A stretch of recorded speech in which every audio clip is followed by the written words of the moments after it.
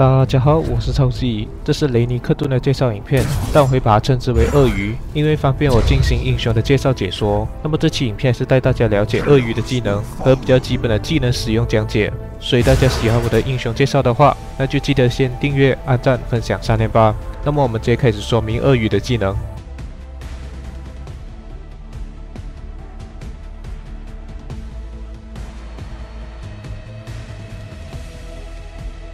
那么被动技能是鳄鱼的核心机制，简单的说就是使用普攻或者是技能攻击敌人，鳄鱼都能获得一定的怒气，而怒气能给他带来技能上的强化和伤害，同时在自身生命值低时还能获得额外的怒气，这也保证了鳄鱼在残血的情况下可以失血反杀。所以玩好鳄鱼最重要的就是学会怒气的控制。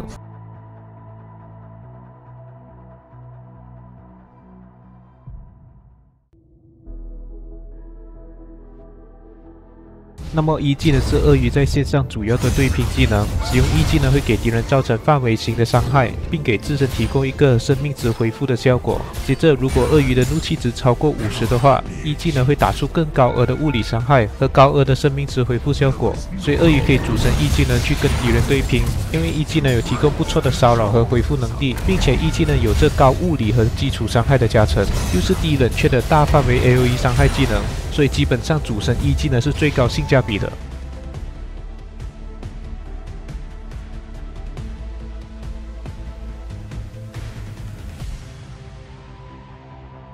那么二技能是一个控制技能，鳄鱼会在下次普攻打出两下普攻的伤害，并附带额外的物理伤害和眩晕效果。如果鳄鱼的怒气值超过五十的话，二技能能打出三下普攻的伤害，并附带更高的物理伤害和更长的眩晕效果。所以搭配自家的打野会有特别好的联动效果，可以确保稳定控制并联手击杀敌人。此外，二技能附带三下普攻所带来的高额伤害，配合这装备的被动，往往有着出乎意料的伤害计算。比如黑切或三项的被动效果都很契合鳄鱼，因此这个强大的眩晕技能让鳄鱼一 v 一不怕任何敌人。甚至还有可能直接把敌人打成残血，借此掌控前期游戏的巨大优势。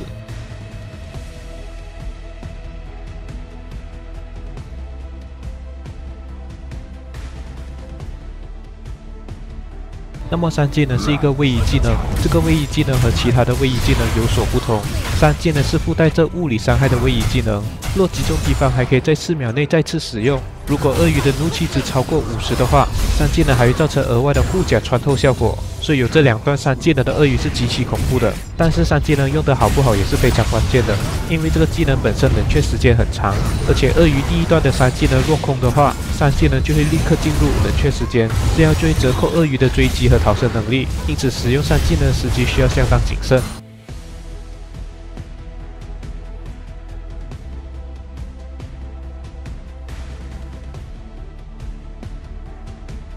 那么大招是一个增强自身的技能，开启大招可以提升大量的生命值，并且还有持续的魔法伤害和怒气的提升。这个可以让鳄鱼第一个冲进敌阵，承受大量的伤害，并在敌群中造成范围型的魔法伤害。可是这些魔法伤害并不能对敌方造成有效的伤害，主要的重点还是在提供生命值和怒气的效果。还有在鳄鱼开启大招的期间内，怒气不会因为脱离战斗而下降，所以借用大招怒气搭配的强化技能，可以让鳄鱼在敌群中大杀四方。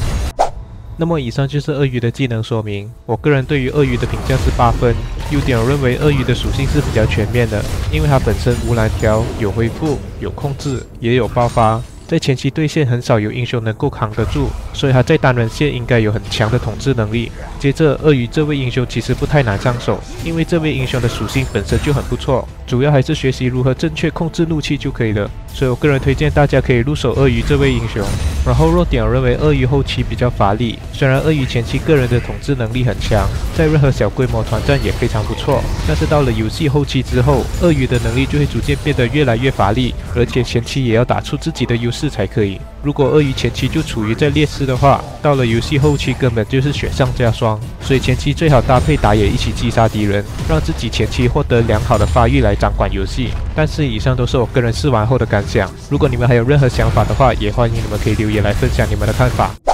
那么本期就是鳄鱼的英雄介绍影片，希望大家会喜欢这样的讲解影片。如果大家对鳄鱼还有什么疑问的话，大家可以在影片下方留言来问我，我会尽可能回答大家的疑问。最后，大家喜欢我的频道的话，记得订阅、按赞、分享三连吧。我是超 Z，我们下一个影片见，拜。